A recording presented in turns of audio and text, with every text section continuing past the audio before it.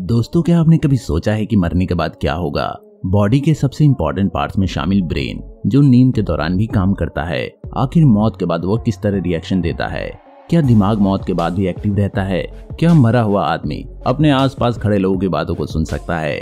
किसी चीज़ को महसूस कर सकता है? या फिर मौत के बाद सब कुछ खत्म हो जाता है?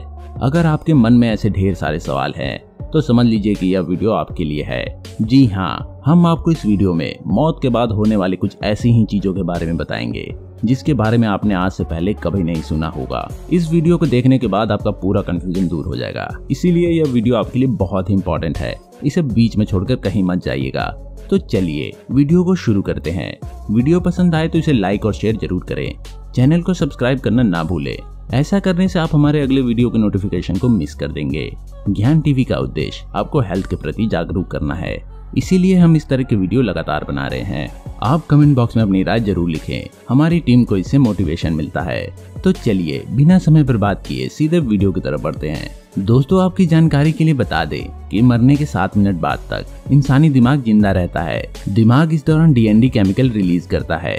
डीएनडी वही केमिकल है। जिसकी वजह से इंसान ज़िंदगी जीता है, यानी मौत तक ज़िंदा रहता है। एक रिपोर्ट के मुताबिक इस दौरान डीएनडी केमिकल की स्पीड बहुत ज़्यादा होती है, बिल्कुल किसी फ़िल्म के ट्रेलर की तरह, जिसमें पूरी फ़िल्म का निचोड़ होता है। सात मिनट का ये ड्यूरेशन सपने की तरह होता है, जिसमें मरने वाले का दिमाग फ्लैशबैक में पहुंचकर बचपन से लेकर बुढ़ापे तक की सभी चीज़ों को रिकॉल करता है।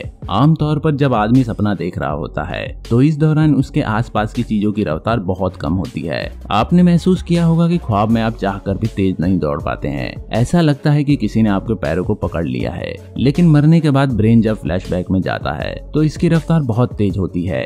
ब्रेन उन सारी चीज़ों को सोच और देख लेता है, जो आदमी ज़िंदगी के दौरान कर चुका होता है। इस सब्जेक्ट पे लंबे समय से काम कर रहे दुनिया भर के ज़्यादातर साइंटिस्टों के मुताबिक। इंसान के मरने के बाद उसके दिमाग से मेमोरी स्टोरेज स्टेटस और आईक्यू पावर जैसी चीज़ों को निकाला जा सकता है। लेकिन फ़िलहाल इसमें कामयाबी नहीं मिली। ऐसा कर पाना कब तक मुमकिन होगा? साइंटिस्ट इसके बारे में कुछ नहीं बताते। कुछ लोग ऐसा मानते हैं कि यह कभी नहीं हो सकता।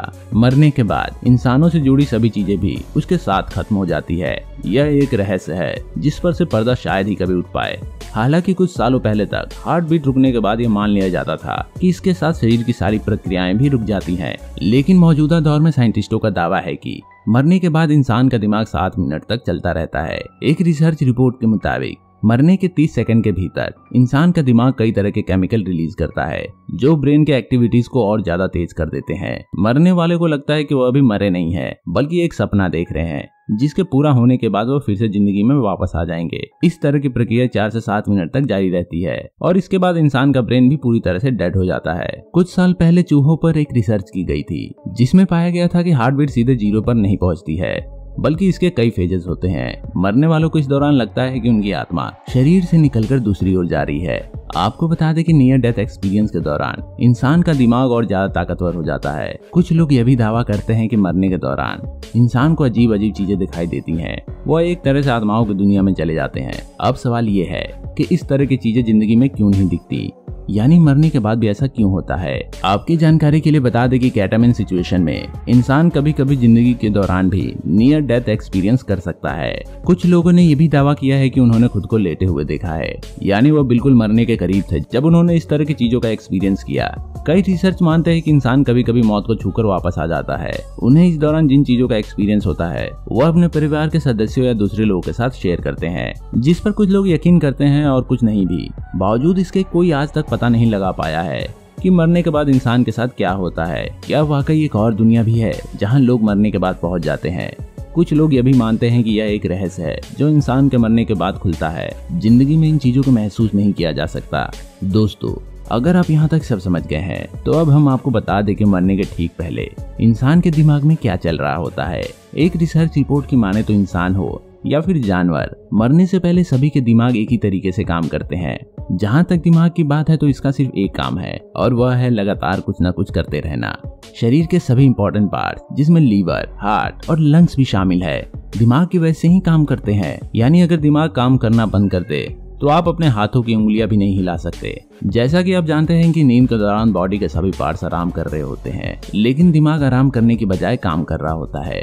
यही वजह है कि आप सपने में बहुत कुछ देख लेते हैं। वैज्ञानिकों की माने तो मौत से पहले इंसान का दिमाग कुछ अच्छे पलों को याद करता है, यानी आपकी ज़िंदगी में जो कुछ भी बेहतर हुआ था, दिमाग उसे रिकॉल करने की कोशिश करता है, जिसमें वह कामयाब भी रहता है। इतना ही नहीं, जब लोग मरते हैं तो उनकी पूरी ज़िंदगी उनकी आँखों के सामने होती है। वैज्ञानिकों ने ब्रेन को कैप्चर करते हुए रिकॉर्डिंग की मदद से यह जानने में कामयाबी हासिल की है कि मरने से पहले इंसान के दिमाग अच्छे पलों को याद करता है। आपकी जानकारी के लिए बता दें, एक सतासी साल के बुज़ुर्ग के यूनिक वेव को कैप्चर किया था, जिसमें इस तरह के तथ्य सामने आए थे। वैज्ञानिकों के मुताबिक जब इंसान मौत के करीब होता है तो गामा वेव सबसे ज़्यादा एक्टिव रहती है। इसके साथ बीटा वेव भी एक्टिव रहती है, लेकिन इसकी स्पीड गामा वेव की तुलना में स्लो होती है। इसके अलावा, मौत के वक्त एल्फा और थीटा वेव भी एक्टिव रहती है, लेकिन जैसी ही डेल्टा वेव एक्टिव होती है, इंसान गहरी नींद में चला जाता है। इसके बाद इंसानी दिमाग कुछ अच्छी यादों को सहेजता है, और फिर वह डेड हो जाता है। मौत के दौरान सेरेब्रल स्कीमिया सिचुएशन क्रिएट होती है,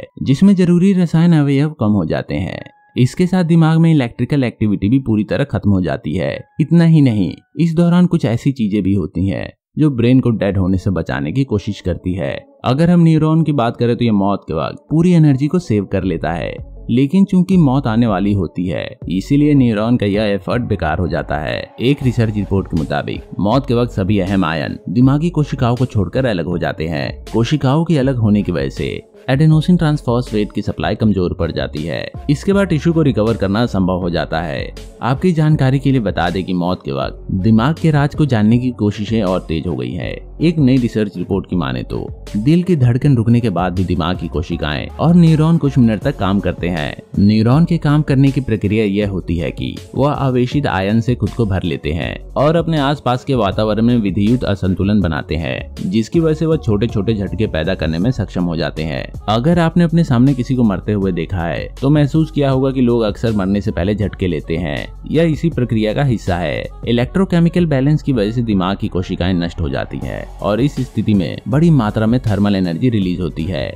इसके बाद इंसान की मौत हो जाती है। इतना ही नहीं, मौत के वक्त शरीर में खून का प्रभाव भी रुक जाता है, जिसकी वजह से ब्रेन में ऑक्सीजन की कमी हो जाती है, जो बाद में मौत का कारण बन जाती है। कुछ वैज्ञानिकों की माने तो एक्सपेंसिव डिपोलराइजेशन के कारण कोशिकीय परिवर्तन की शुरुआत होती है, जिसके बाद इंसान की मौत हो जाती है। हालाँकि यह अपने आप में मौत का क्षण नहीं होता। क्योंकि डिपोलराइजेशन को ऊर्जा की आपूर्ति बहाल करके पलटा जा सकता है। हालाँकि दुनिया के ज़्यादातर छोटे बड़े वैज्ञानिक मानते हैं कि अभी ज़्यादातर चीज़ें हाइपोथेटिकल स्टेज पर है। यानी अभी तक इसके पुख्ता सबूत नहीं मिले हैं कि मौत के बाद, या फिर मौत से ठीक पहले इंसानों का दिमाग क्या सोचता है। इसके लिए अभी और शोध की ज़रूरत है, जो आगे भी जारी रहेगा। दोस्तों, आपको हमारा यह वीडियो कैसा लगा? इस बारे में हमें ज़रूर बताएँ। पसंद आया हो तो इसे लाइक और शेयर करना ना भूलें। चैनल को सब्सक्राइब ज़रूर करें। धन्यवाद।